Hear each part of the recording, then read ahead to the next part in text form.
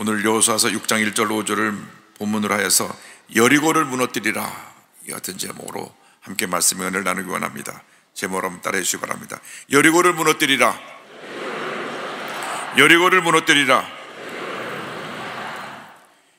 일생을 살다 보면 크고 작은 많은 문제들을 만납니다. 때로는 우리가 감당할 수 없는 태산 같은 큰 문제를 만나기도 합니다. 그 문제를 만났을 때 어떻게 문제를 우리가 해결하고 어려움을 헤쳐나갈 수 있을지 때때는 우리가 막막하고 그 현실 앞에 주저앉을 수밖에 없게 됩니다. 오늘 본문에 나온 여리고 성도 그 같은 똑같은 상황입니다. 이스라엘 백성이 가나안을 정복하기 위해서 꼭 무너뜨려야 할 그 여리고 성인데 난공불락의 성입니다. 많은 조건이 쳐들어왔지만 무너뜨리지 못했습니다. 성벽으로 두 겹으로 둘러싸인 거대한 도시였고 도성이었고 또 고대 근동에서 가장 오래된 도시 중에 하나기도 했습니다. 이 같은 여리고가 우리 앞에 놓일 때가 있습니다. 우리 앞에 놓인 여리고에 대해서 함께 생각하기를 원합니다. 여호수아서 6장 1절로 3절입니다. 이스라엘 자손들로 말미암아 여리고는 굳게 닫혔고 출입하는 자가 없더라. 야훼께서 여호수아에게 이르시되 보라 내가 여리고와 그 왕과 용사들을 내 손에 넘겨 주었으니 너희 모든 군사는 그 성을 돌, 둘러 성죄를 매일 한 번씩 돌되 여세 동안을 그리하라. 여리고 성벽은 두 겹으로 되어 있는데 이중으로 되어 있는데 바깥의 성벽과 안의 성벽이 따로 쌓여져 있었습니다. 그런데 그 성벽이 두껍고 견고합니다. 성벽의 높이는 무려 10m가 되고 또 여리고성이 주변보다 20m 높은 고지에 위치하고 있었기 때문에 총 높이가 30m니까 요즘 아파트 10층 높이를 생각하면 됩니다. 그 큰 성이 두 겹으로 외벽 너비가 1.5m에서 3.4m가 되는 두 벽으로 들렸고 튼튼하게 지어서 그 위로 마차가 다닐 정도라고 했습니다. 겨우 이 벽을 넘어간다고 해도 그 다음 벽이 또 기다리고 있었습니다. 그래서 어느 적이 쳐들어와도 첫 번째 성벽도 무너뜨리지 못하고 다 패배하고 돌아갔던 성입니다. 그런데 하나님께서 그 성을 매일같이 하루 한 번씩 돌고 마지막 날 일곱 번을 돌으라고 말씀하셨는데 이스라엘 백성들이 그 명령을 따라서 성을 둘러보니까 이것은 도저히 불가능한 현실입니다. 자기들의 힘으로 무너뜨릴 수가 없습니다. 아무리 성을 돌아도 그 어디 하나 빈 틈이나 공격할 그러한 곳은 보이지 않고 그냥 위압감에 저들이 눌려서 그냥 아이고 우리가 이 성을 어떻게 무너뜨리나 마음에 두려움만 가득하게 되었습니다. 우리가 살다 보면 때때로 이 같은 여리고가 우리 앞, 을 가로막습니다. 코로나19라고 하는 여리고가 3년 동안 우리를 얼마나 힘들게 했는지 경제가 곤두박질하고 많은 소상인들이 문을 닫고 젊은들은 일자리가 없어서 방황하고 결혼하려고 하니까 같이 살 집이 없어서 낙심하고 그렇게 3년이 돼서 이제 마스크로부터 해방이 됐는데 달라진 것은 없습니다. 갑자기 우크라이나 전쟁이라고 하는 또 여리고가 터져가지고 언제 끝날지 모르는 전쟁이 지금도 계속되고 있습니다. 이것은 러시아와 우크라이나 전쟁일 뿐 아니라 러시아와 미국, 온 유럽 간의 대리 전쟁이기도 합니다. 그래서 끊임없이 수많은 사람이 죽어나가고 끊임없이 폭탄이 떨어진 가운데 상상할 수 없는 피해가 있고 세계 3위 국장지대인 우크라이나의 곡물 수출이 막힘으로 말미암아 모든 고물값이 뛰고 그래서 코로나가 끝날 때쯤 되니까 또 이 우크라이나 전쟁이 또 1년 넘게 우리를 괴롭히는 그러한 여리고를 우리 앞을 가로막고 있습니다. 빨리 전쟁이 끝나야 되는데 끝이 보이지 않습니다. 어렵게 지나다 보니까 갑자기 몸이 아파서 병원에 가보니 암이라는 진단을 받아 질병의 여리고가 날 찾아올 때가 있습니다. 사업이 파산해서 어찌할 바를 모르고 그저 주저앉아서 한숨만 쉬고 있는 그러한 여리고를 만난 분도 있습니다. 많은 여리고가 우리 앞에서 우리 앞을 가로막고 있어서 우리 마음 가운데 염려, 그시 걱정을 가져줍니다. 그 중에 가장 큰 문제는 우리 마음에 두려움이 쌓이는 것입니다. 이제 어떻게 하지? 내가 이, 어, 이 어려움을 어떻게 헤쳐나가지? 마치 이스라엘 백성들이 그 거대한 여리고성을 보면서 어이구 우리가 이 성을 어떻게 무너뜨리지? 저 위에서 우리에게 화살을 쏘아대면 우리는 그저 그냥 다 몰살당하고 말 텐데 두려움이 같았습니다. 여리고를 무너뜨리기 전에 먼저 우리 마음 가운데 두려움의 여리고를 무너뜨려야 되는 것입니다. 내 마음에 두려움이 들어오니까 그것이 염려, 그것이 걱정을 갖다 주고 면역 체계를 떨어져서 온갖 질병을 끌고 들어와서 몸이 약해지고 병이 들고 문제 가운데 쓰러지게 되는 것입니다. 또 정의적으로 이 두려움이 들어가오니까 우울증이 생겨나고 불면증이 생겨나고 그냥 말할 수 없는 고통에 내가 문제에 둘러싸여서 절망하게 되는 것입니다.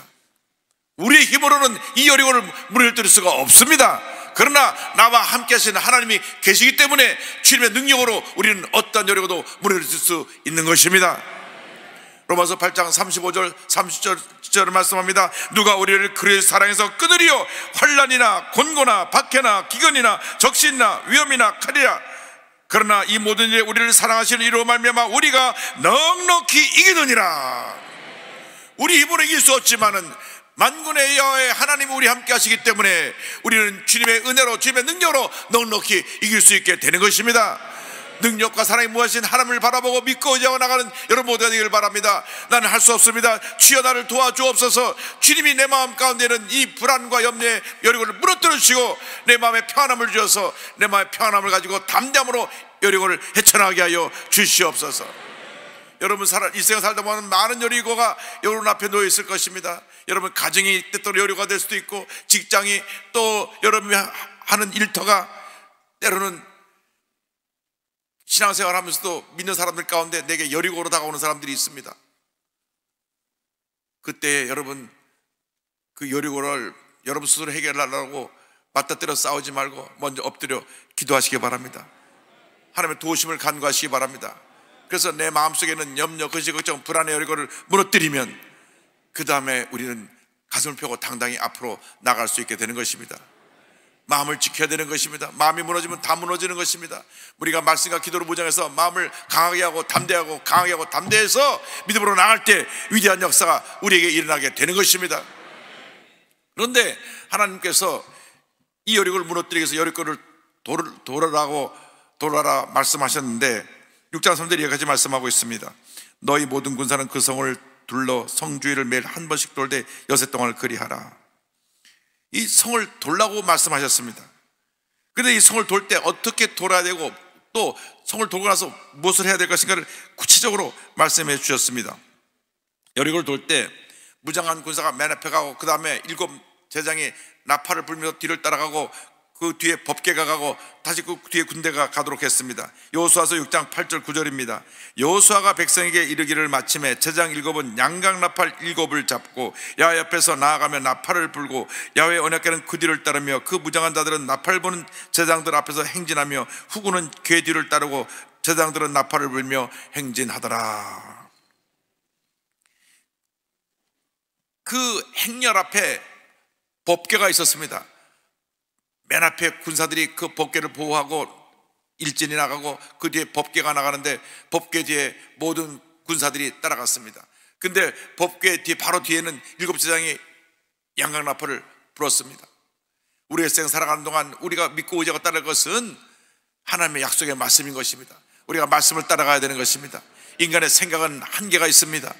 우리 인간의 생각은 늘 자기 중심으로 생각하기 때문에 완전하지 못하고 실수가 있고 또 자기 생각 때문에 스스로 무너지기도 합니다. 그래서 우리가 이 전쟁터에 나가서 싸울 때 제일 중요한 것은 들려오는 사람들의 소리 듣고 마음이 흔들리면 안 되고 하나님의 음성을 듣고 마음을 지키고 전쟁에 나가야 되는 것입니다.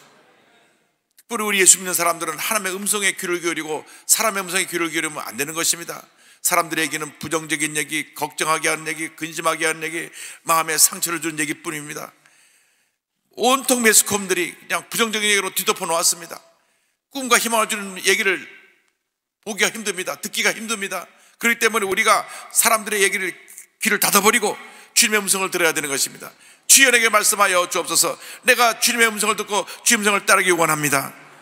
언제나 우리가 말씀을 듣고 말씀을 의지하고 말씀을 따라갈 때 하나님의 은혜가 임하게 되는 것입니다. 말씀은 우리에게 꿈과 희망과 용기를 날마다 부어주는 것입니다. 말씀 속에 길이 있습니다. 이 말씀 속에 생명이 있습니다. 이 말씀 속에 모든 문제 해결에 답이 있는 것입니다. 꿈과 희망을 주는 약속의 말씀 붙잡고 전진 또 전진 또 전진해 나가는 여러분 모두가 되기를 바랍니다. 그래서 이 법계를 앞서고 너희 따라가는데 따라갈 때 절대로 입을 열지 말고 입을 꼭 다물고 있어라. 제장들은 나팔 불었지만 너희들은 누구도 말하지 말고 입을 다물고 있어라 명령하셨습니다. 여호수아 6장 10절입니다. 여호수아가 백성에게 명령하여 이르되 너희는 외치지 말며 너희 음성을 들리게 하지 말며 너 입에서 아무 말도 내지 말라. 그리 하다가 내가 너에게 명령하라 외치는 외치라 하는 날에 명령하여 외치라 하는 날에 외칠지니라 하고 하나님께서 침묵을 명하신 것입니다. 왜냐? 우리 연약한 사람들이 입만 열면 원망, 불평을 쏟아놓기 때문인 것입니다. 이스라엘 백성들이 40년 동안 늘 원망하고 불평하고 부정적인 쏟아놓았기 때문에 약속의 땅 가난에 들어가지 못하고 오직 긍정의 고백을 한 여호수아 갈렙만 가난 땅에 들어가고 나머지 모든 사람은 광야에서 돌다가 거기서 삶을 마쳤습니다.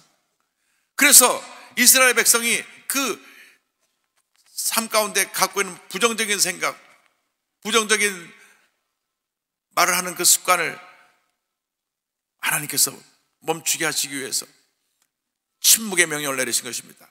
침묵 훈련입니다. 하나님의 침묵 훈련이 때때로 필요합니다. 우리가 입을 열어서 어떤 얘기를 하기 전에 입을 다물고 하나님 앞에 엎드려 기도해야 되는 것입니다. 주님, 내게 말씀하여 주옵소서. 내가 주님의 음성을 듣기 원합니다. 사람에게 듣고 사람에게 옮기다 보니까 자꾸 부정적인 얘기가 또 옮겨지고 또 옮겨지고 져서 얼마나 많은 문제를 일으키는지 모릅니다. 그래서 우리들은 때때로 하나님의 이 침묵 훈련을 받아야 됩니다. 우리가 사람에게 말하지 않냐고 하나님께만 말하는 훈련을 해야 됩니다. 그래서 하나님께서 말씀하시기를 일조 동안 동안 동안에 입을 꼭 다물고 있어라. 아무 말도 하지 말아라. 만약 입을 열었더라면 이 성을 우리가 어떻게 무너뜨리나? 아이고, 우린 다 끝났네. 웜에 큰일 났네. 아마 이러고 돌아왔을 것입니다. 그런데 입을 열고 말하지 말아라. 입을 닫아라. 입을 꼭 다물고 있어라. 일주일 동안 성을 돌면서 저들은 생각합니다. 우리는 못합니다. 우리는 못합니다. 주님 도와주옵소서. 우리는 주님이 돌라고 하니까 그냥 도는데 우리를 불쌍히 여겨주셔서 주님께서 이 문제를 해결하여 주시옵소서. 마음속으로 기도했을 것입니다. 아마 입을 열라 그랬으면 그냥 너도 나도 입을 열어서 온갖 불평, 원망, 아이고, 우리를 장사 지낼 데가 없어 여기까지 끌고 와갖고 결국 여리고 앞에서 다 죽게 만드는구나. 요단강을 건널 때까지 좋았는데, 아이고, 이 앞에 여리고를 우리 앞에 가로막게 하셔갖고 우리를 이 모양 꼴로 만드는구나. 온갖 불평을 했을 것입니다. 그런데 하나님이 입을 꼭 다물고 성을 돌기만 하라. 돌기만 하라. 아무리 힘들고 어려워도 절대로 원망과 불평을 하지 않게 되기를 바랍니다. 원망이 원망을 낳고 불평이 불평을 낳는 것입니다. 우리 입은 절대로 불평을 말하면 안 됩니다. 부정적인 얘기를 말하면 안 됩니다. 우리가 늘 옛날부터 습관적으로 하던 말이 할 수 없다, 못 살겠다, 죽겠다 그런 말을 많이 했습니다. 진짜 죽으라고 하면 왜 내가 죽냐 그러면서도 입만 열면 죽겠다는 말을 입에 달고 살았습니다. 배고파 죽겠다, 배불러 죽겠다, 좋아 죽겠다. 좋은데 왜 죽습니까? 좋아 죽겠다, 미워 죽겠다. 조용히 목사님이 늘 죽겠다는 말 좀 하지 말라고. 살겠다는 말을 해야지 왜 죽겠다 그러냐고. 우리들이 입으로 늘 부정적인 얘기를 쏟아놓기 때문에 부정적인 생각에 사로잡히고 부정적인 환경에 사로잡히게 되는 것입니다. 절대 근정, 절대 감사로 나가는 우리 모두가 되어야 됩니다. 아무리 악한 사람이 날 뛰고 날 물어뜯고 뭐, 모함을 해도 우리 입에서는 감사만 나와야 됩니다. 하나님 감사합니다. 감사합니다. 하나님 나를 훈련시켜 주시니 감사합니다. 하나님의 축복이 임하게 되니 감사합니다. 감사하면서 주님의 때를 기다리시기 바랍니다. 감사하면서 믿음으로 나가면 하나님의 은혜가 임하게 되는 것입니다. 주님의 축복이 임하게 되는 것입니다. 특별히 암과 싸우는 분들은 입에 절서 절대로 부정적인 얘기를 하면 안 됩니다. 나는 암과 싸워 이길 것이다. 하나님이 나와 함께 하신다. 나는 이 암이 내게 잠깐 나를 괴롭히지만 나는 결국 암을 이기고 승리해서 내가 장수하며 하나님 영광을 돌리게 될 것이다. 할렐루야. 여러분 마음이 무너지면 다 무너지는 것입니다. 그러나 마음이 건강해지면 이 고약한 암도 들어왔다가 아이고 내 있을 것이 아니네. 그리고 떠나가 버리는 것입니다. 여러분 마음을 강하게 하고 담대하시기 바랍니다. 마음을 강하게 하고 담대하시기 바랍니다. 세상의 소리에 귀를 기울이지 말고 주님 음성에 귀를 기울이고 주여 믿습니다. 믿음으로 전진 또 전진 또 전진하는 여러분 되시기를 주님으로 축원합니다. 할 수 있다 하자 하면 된다. 그렇게 나가기를 바랍니다. 책방에서 70주 연속 베스트셀러인 책의 제목을 보니까 그래 넌 잘할 수 있어. 그 내용이에요. 그런데 70주 동안 맨 그 그래 넌 괜찮아 넌 잘할 수 있어. 그 제목 때문에 사람들이 책을 삽니다. 그렇습니다. 말 한마디가 사람을 바꾸는 것입니다. 넌 괜찮은 애야. 너 잘할 수 있어. 꿈을 주는 것입니다. 너는 글러먹었어. 뭘 해도 될 수 없어. 그 사, 그런 생각이 마음에 들어왔다고 하면 이 시간 다 물리치시기 바랍니다. 다 내던져 버리시기 바랍니다. 주님 나와 함께 하신다. 나는 할수 있다. 난 위대한 하나님의 사람이다. 할렐루야! 믿음으로 나가시길 바랍니다. 그리고 나서 우리는 믿음으로 말씀을 선포하여 여리고를 무너뜨려야 되는 것입니다. 16장 15절 16절입니다. 일곱째 날 새벽에 그들이 일찍 일어나서 전과 같은 방식으로 그 성을 일곱 번 도니 그 성을 일곱 번 돌기는 그날 뿐이었더라. 일곱 번째 제장들이 나팔을 불 때 여호수아가 백성에게 이르되 외치라 야훼께서 너희에게 이 성을 주셨느니라. 매일 하루에 한 바퀴씩 돌고 여섯 동안 한 바퀴씩 돌아서 여섯 번을 돌았는데 마지막 일곱 번째 날은 일곱 번을 돕니다. 그러니까 모두 열세 번을 도는데 일곱 번을 돌 때까지 가만히 있다가 일곱, 일곱 번 다 돌고 나면 그 다음에 외치라고 말했습니다. 외치라! 여호께서 너에게 이 성을 주셨느니라. 그래서 일주일 동안 그 성을 돌고 마지막 날 일곱 번째 돌고 나서 외치라 할 때 나팔이 빠바으로 불릴 때 주여 하니까 주여란 말은 성경에 아직 없어요. 어, 저는 그렇게 순모음으로 주여라고 외쳤다고 믿고 외치니까 그냥 성이 와르르 무너졌습니다.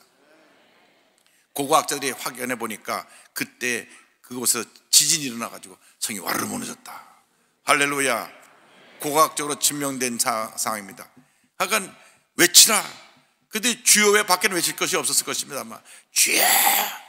우리가 주여 삼창하는데 외치니까 성이 무너진 것입니다. 6장 20절입니다. 이에 백성은 외치고 제왕들은 나팔을 불매 백성의 나팔 소리를 들을 때 크게 소리질러 외치니 성벽이 무너져 내린지라 백성이 각기 앞으로 나아가 그 성에 들어가서 그 성을 점령하고 할렐루야 여세 동안 돌 때는 아 무런 변화가 없었습니다. 마지막 날 여섯 번을 돌아도 아무런 변화가 없었습니다. 위에서 여리고 군사들은 조롱하고 저들에게 너희들은 전쟁 해보나 마나 이미 끝났다고 외치고 왜 쳐들어오지 못하고 빙빙 돌기만 하냐고 그냥 위에서 꽹가를 치고 난리를 쳤을 것입니다. 그러나 이스라엘에서는 대답하지 않고 입 꼭 다물고 일주일을 두고 마지막 열세 번째 외쳤을 때 그 요리통이 와르르 무너졌습니다. 인간의 마지막은 하나님의 역사의 시작인 것입니다.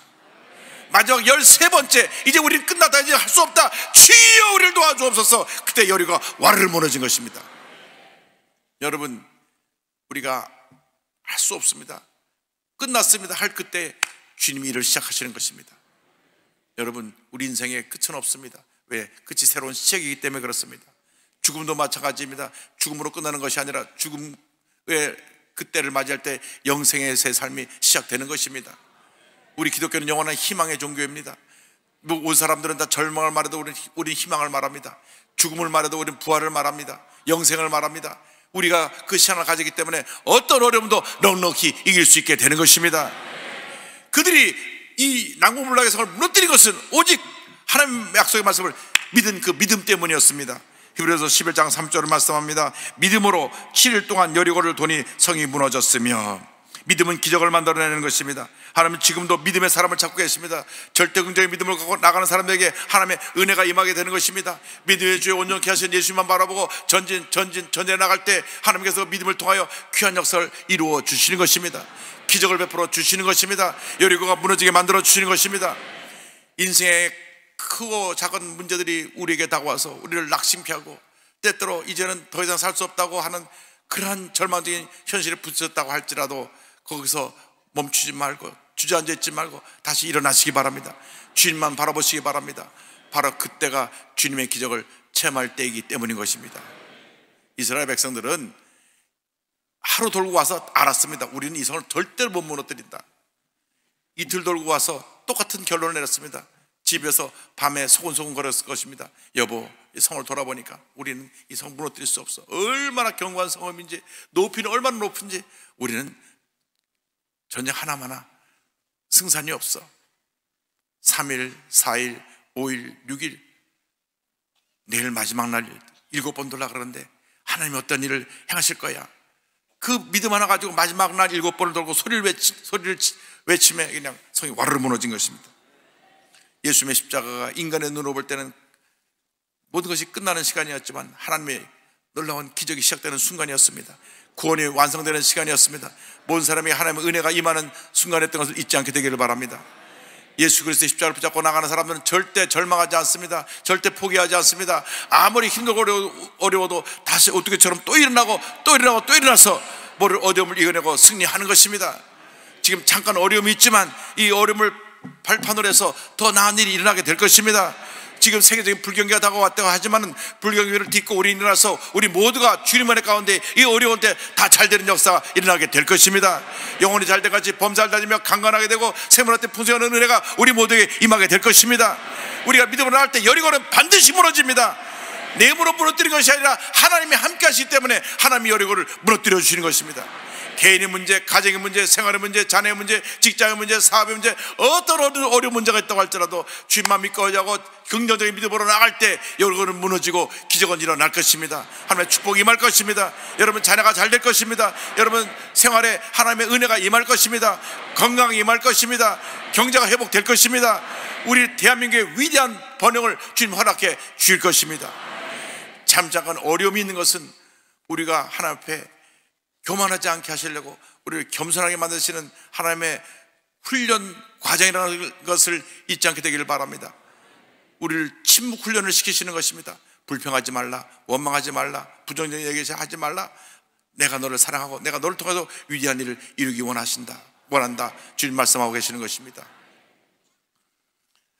미국이 1월 셋째 주 월요일이 되면 첫 번째 공휴일을 맞는데 그 공휴일 이름이 마틴 루터 킹 주니어 Day입니다. 사람 이름을 가진 공휴일은 마틴 루터 킹 저분 한 분밖에 없습니다.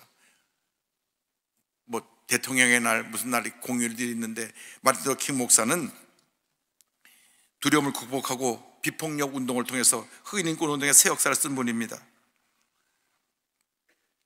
1955년 12월 달에 몽고메리에서 한 흑인 여성이 버스에서 백인 남성에게 자리를 양보하지 않았다는 이유로 체포를 당했습니다. 이 이야기를 듣고 마틴 킹 목사가 몽고메리에는 모든 우리 흑인들은 이제부터 우리 인권이 존재할 때까지 버스를 타지 않는다. 그래서 모든 흑인들이 버스 타지 않는 운동을 통해서 다 걸어서 한 시간이고 두 시간을 걸어서 직장에 나갔습니다.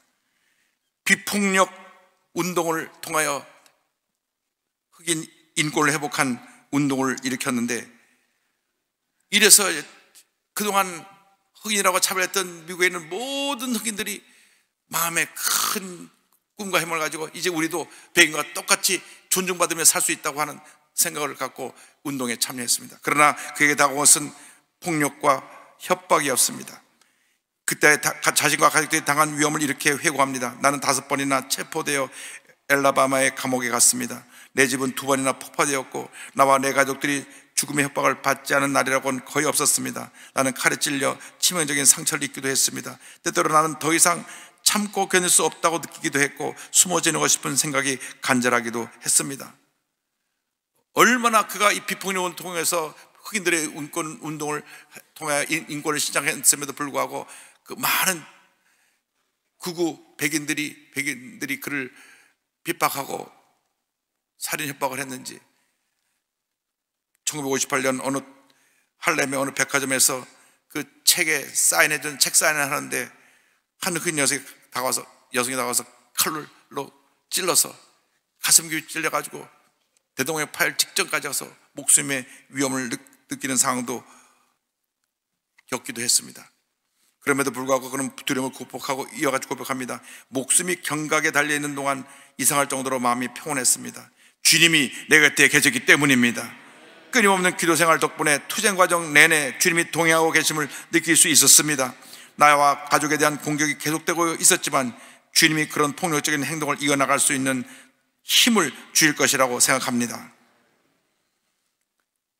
이래서 전 흑인들의 지지를 받으며 흑인 인권 운동을 계속한 결과 1963년 그 유명한 세계 역사의 기록에 남는 링컨 Memorial 워싱턴 대행진의 기념적인 명설교를 남겼습니다. 여기서 한 그 설교가 지금도 많은 사람들에게 읽혀지고 있고 또 이 내용이 또 여러 사람들에게 큰 감동을 주고 있습니다.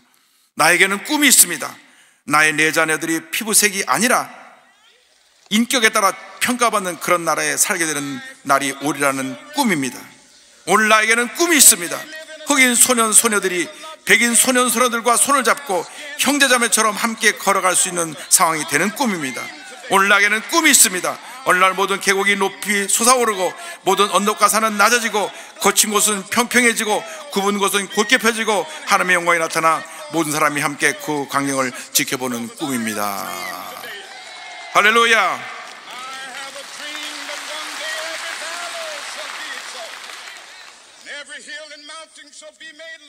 그의 이 흑인 인권 운동의 결과로 미국 사회가 큰 도전을 받고 많은 사람들이 이 운동에 참여해서 1964년 노벨 평화상을 받기도 했습니다. 그러나 그로부터 4년 후에 1968년 4월 4일 멤피스에서 그가 암살을 당합니다. 그가 죽음으로 꿈이 끝난 것이 아닙니다. 그의 꿈은 죽지 않고 살아서 41년 후에 미국 역사상 처음으로 흑인 대통령 버락 오바마가 당선이 되게 됩니다. 할렐루야! 여러분, 그 앞에 놓인 여리고를 그는 두려워하지 않고 무너뜨렸습니다. 흑백 차별이라고 하는 여리고를 무너뜨린 것입니다. 죽음으로 그의 꿈이 무너진 것이 아니라 죽음으로 꿈이 살아서 그 침묵의 행진을 통하여서 미국에 있는 흑인들의 인권이 존중되게 되고 드디어 흑인 대통령이 탄생에는 놀라운 역사가 나타나게 된 것입니다. 여러분 꿈은 이루어집니다. 여러분 앞에 어떠한 여리고가 있다고 할지라도 꿈과 비전을 가지고 믿음으로 나갈 때 기적은 일어날 것입니다. 마틴 루킹 목사가 늘 평소에 즐겨 불렀던 찬송으로 오늘 말씀을 마치기 원합니다. 시카고 침례교 찬양사였던 토마스 톨시 목사님이 지은 주님의 이 손을 꼭 잡고 갔어. 여러분 아무리 힘들고 어려도 주님의 손을 꼭 붙잡고 믿음으로 전진해서 모든 여리고를 무너뜨리고 위대한 승리의 삶을 살아가는 여러분 모두 되시기를 주님으로 축원합니다. 축원합니다. 축원합니다.